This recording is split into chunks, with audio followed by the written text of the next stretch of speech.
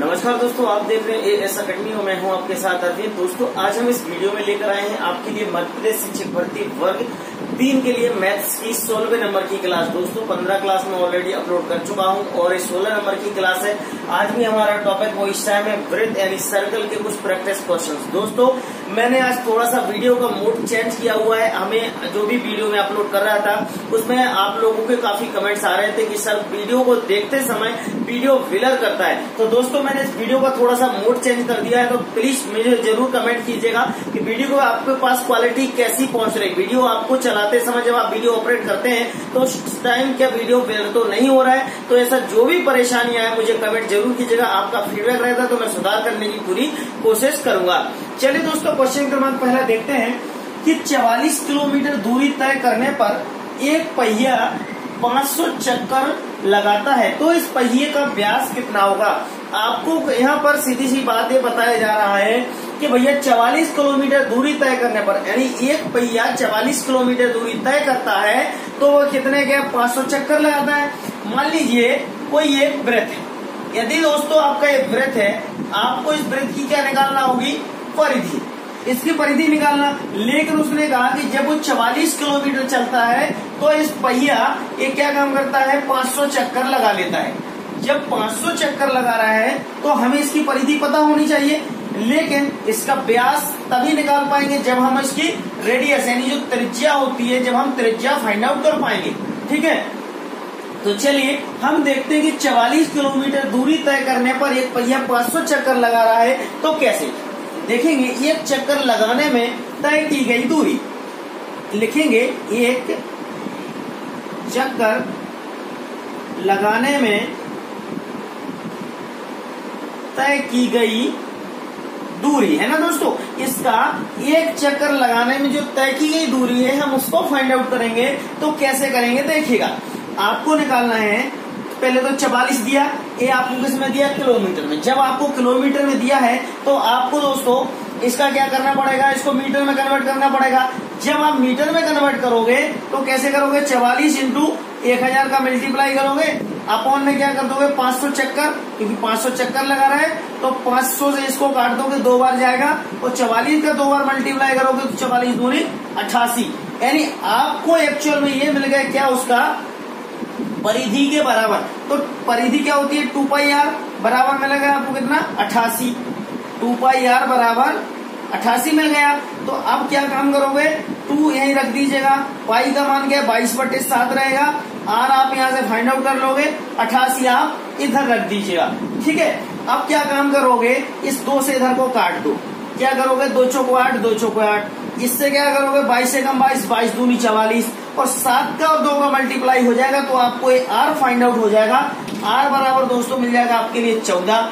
जब आपको आर बराबर चौदह मिला तो डी यानी ब्यास निकालना है तो ब्यास क्या होता है? Two R. तो इसमें क्या करोगे? टू इंटू चौदह का मल्टीप्लाई कर दोगे। तो आपको मिलेगा बराबर में अट्ठाईस मीटर। तो आपके लिए जो आंसर मिलेगा दोस्तों 28 मीटर, यानी इसका जो ब्यास मिलेगा दोस्तों, वो क्या होगा? 28 मीटर आपके लिए आंसर मिल जाएगा इसका ब्यास। क्लियर बात? कहीं यदि आपको डाउट लगता है दोस्तों तो मुझे ज़रूर बताइएगा, मैं पूरी कोशिश करूँगा आपको और बेहतर तरीके से समझाऊं। और दोस्तों, मैंने आपको पहले ही बता चुका कि वीडियो आज थोड़ा सा मैंने इसका मोड चेंज किया है। यदि आपको लग रहा है कि वीडियो में कहीं परेशानी आ रही देखने में तो मुझे एक बार ज़रूर कमेंट कीजिएगा।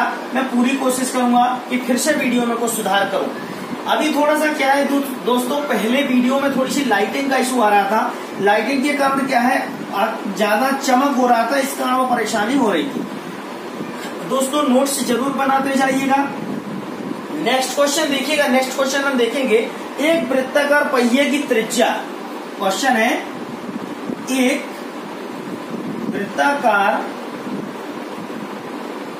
पहिए की त्रिज्या एक वृत्ताकार पहिए की त्रिज्या 1.75 मीटर है है, तब 11 किलोमीटर 11 किलोमीटर दूरी तय करने पर तय करने में यह है यह करने पर यह है, कितने चक्कर लगाएगा। अब देखिएगा। यहाँ थोड़ा सा इसका अपोजिट पूछ लिया। पहले व्यास पूछा था, इधर पे बोला, एक वृत्ताकार पहिए की त्रिज्या। अब उसकी आपको त्रिज्या यानी आर बराबर 1.75 मीटर दे दी है। और वो बोलता है 11 किलोमीटर दूरी तय कर रहा है। जब वो 11 किलोमीटर दूरी तय कर रहा है तो वह कितने चक्कर लगाएगा? तो आपको कुछ नहीं करना है। आपको सीधी सी बात है, टू पाई आर रख दीजिए, यानी two pi R. Two pi R बराबर आपको क्या मिलेगा? टू, सेम रख दीजिएगा। पाई का वैल्यू बाईस बटे सात रखेंगे। आर का वैल्यू 1.75 मीटर रखेंगे। क्लियर? देखिएगा ज़ीरो से ज़ीरो, यहाँ दशमलव कर दोगे तो सौ आ जाएगा, पच्चीस चौको सौ पच्चीस सत्तर एक सौ पचहत्तर। सात से सात काट दोगे, दो एकम दो दो दूनी चार, दो एकम दो दो एकम दो। तो आपको कितना मिल गया दोस्तों? परिधि मिल गया उसका टू, पाई आर बराबर क्या मिल गया आपको? ग्यारह किलोमीटर। अब जब आपको 11 किलोमीटर मिला दोस्तों तो आपके लिए क्या निकालना है इसका? टोटल चक्कर निकालना है।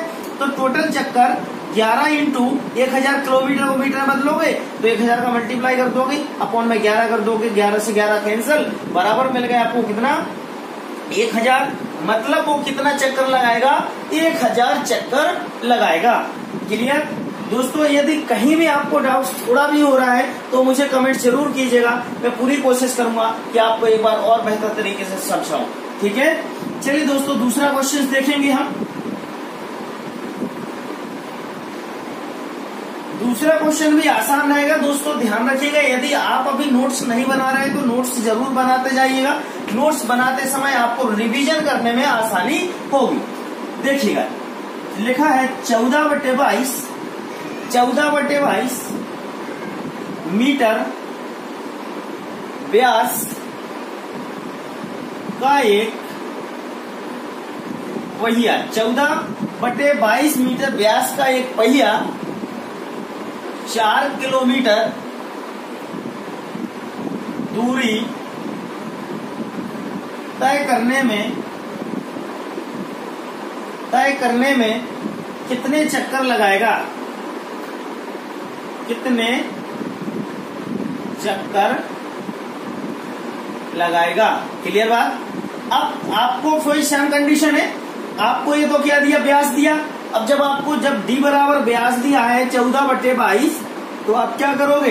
इसका त्रिज्या निकाल लोगे। आर बराबर क्या होता है? डी बाई टू यानी डी का वैल्यू कितना है? चौदह बटे बाईस, और आर का वैल्यू आप निकाल लोगे। इसके बटे में दो कर दोगे। ठीक है? तो आपको टू पाई आर निकाल निकाल दीजिएगा। टू पाई आर से क्या करोगे? टू इंटू पाई का वैल्यू बाईस बटे सात इंटू आर का वैल्यू आपको क्या मिल जाएगा? चौदह बटे बाईस इंटू टू अपॉन में टू कर दिया मतलब इसका आधा तो इससे काट दीजिए बाईस से बाईस कैंसिल सात एकम सात सात दूनी चौदह, दो से दो कैंसिल अब आपको बचा दो। सिर्फ़ आपको मिला दो, लेकिन वो क्या बोलता है, चौदह किलोमीटर दूरी। तो सॉरी चार किलोमीटर दूरी है तो इसको आप क्या करोगे, मीटर में कन्वर्ट करोगे। तो एक हज़ार, बटे में कितना रखोगे, दो दो एकम दो दो दूनी चार। आपको मिल गया दोस्तों कितना? दो हज़ार चक्कर। आंसर आपका आ गया दो हज़ार चक्कर, यानी यह कितना करेगा? दो हज़ार चक्कर लगाएगा। ठीक है?